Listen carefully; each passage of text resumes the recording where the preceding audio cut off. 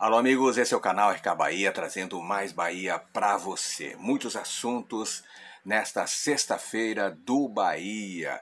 Olha só, protestos da torcida marcado aí para o antes do jogo do Bahia. Marinho, novidades sobre Marinho. Canu está de volta, zagueiro já treina aí com o grupo principal. Sacha, novidades sobre Sacha no Bahia. E os 100 primeiros dias turbulentos de Renato Paiva. É o que a gente vai conferir neste vídeo para você. Antes eu peço a você, meu amigo, alô torcedor do Bahia, te inscreve no canal. Te inscreve no canal, porque aqui no canal RK Bahia você tem tudo sobre o Bahia. Olha só, Canu está de volta, recuperado de lesão, o zagueiro volta a treinar e reforça o Bahia. Titular com Paiva, defensor não atua desde o início de fevereiro. Canu está de volta, um ano e meio de ausência, o zagueiro volta a ser opção para a comissão técnica. Após passar pela transição física e iniciar a semana trabalhando com o Sub-20, Canu voltou aos trabalhos com o grupo principal na manhã desta quinta-feira, segundo publicação da assessoria tricolor. Ausente desde o início de fevereiro, o defensor de 26 anos havia sofrido uma lesão muscular, estiramento do bíceps femoral com ruptura de músculo, necessitando de um tratamento mais longo. E mais um capítulo da novela Marinho no Esporte Clube Bahia, de acordo com a apuração do site Coluna do Fla, o esquadrão ainda não desistiu da contratação do jogador de 32 anos, que está sem espaço no Flamengo. Após não chegar a um acordo salarial, esfriando a negociação, o tricolor pretende fazer uma nova oferta com vencimentos maiores para tentar tirar o atacante do Flamengo e vínculo até o final de 2024. No início do mês, quando o Flamengo deu aval para o Bahia negociar diretamente com o atacante, surgiu a informação do jornalista Vene Casagrande de que Marinho impôs uma condição ao Flamengo para aceitar se transferir para o tricolor. Ele quer receber o valor do contrato com o clube carioca até dezembro. Por outro lado, é por conta do desejo de seguir no Flamengo e tentar recuperar o seu espaço com o técnico Vitor Pereira. O clube carioca tenta recuperar o investimento feito no atleta de 1,3 milhões de dólares, isso dá 7 milhões de reais. Vale lembrar que Marinho tem contrato com o Flamengo até o fim deste ano e a partir de julho o atacante fica livre para assinar um pré-contrato com outra equipe. E quanto ao atacante Eduardo Sacha, de olho no mercado, Bahia e Vasco estão interessados no futebol do atacante de 31 anos.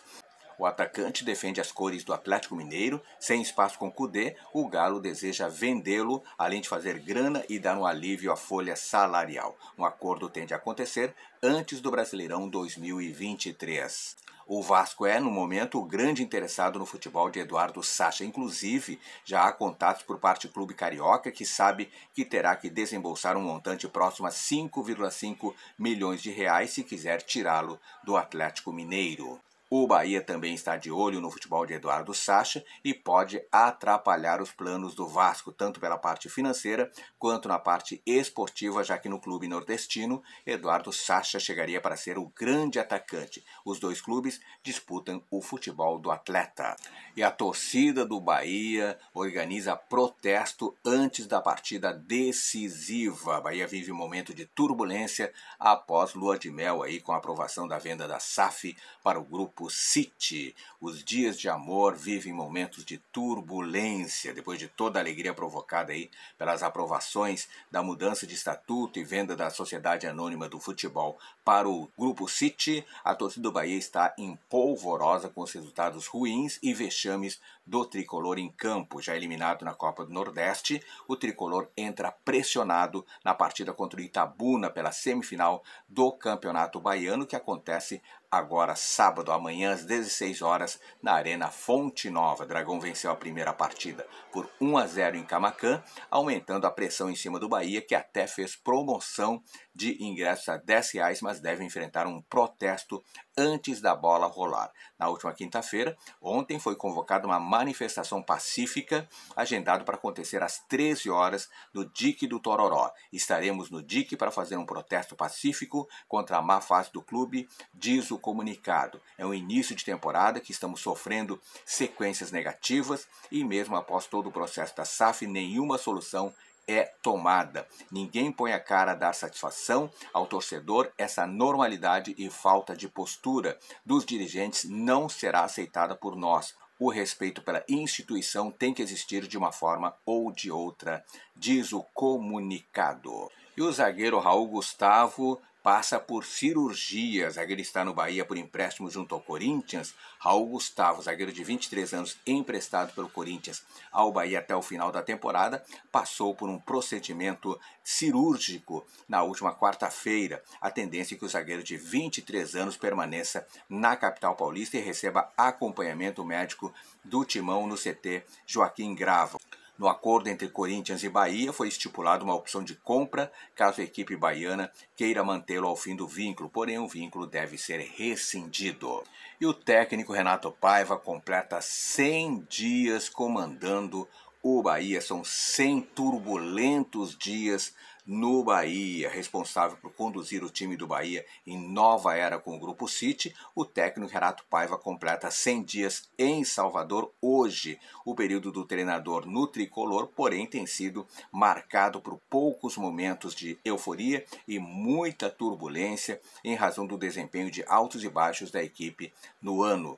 Até aqui, o tricolor, comandado pelo técnico Renato Paiva, avançou para as semifinais do Campeonato Baiano, para a terceira fase da Copa do Brasil e caiu na primeira fase da Copa do Nordeste. O problema maior foi a queda na Copa do Nordeste. Números do Bahia no ano são 19 jogos, 10 triunfos, 3 empates e 6 derrotas um aproveitamento de 58%, com 23 gols marcados e esse é outro problema. 26 gols sofridos. Nesses três meses, a equipe de Renato Paiva tem sofrido uh, para apresentar futebol consistente e vencer os adversários mais duros.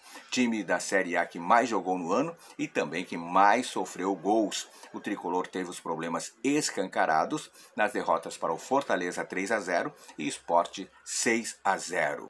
Em entrevistas coletivas, o treinador faz críticas regulares ao alto número de jogos, mas insiste em um modelo de jogo que requer tempo. O técnico chegou a comparar o Bahia a outras equipes que vivem realidades distintas. Tá aí as primeiras do Bahia para você nesta sexta-feira, para você, torcedor do Bahia. Se gostou do vídeo, dá joinha, dá joinha que sempre apoia o canal. E o mais importante, meu amigo, alô, torcedor do Bahia, te inscreve no canal. Te inscreve no canal, porque aqui no canal Erca Bahia, você tem tudo sobre o Bahia. Muito obrigado, beijo no coração e fique com Deus.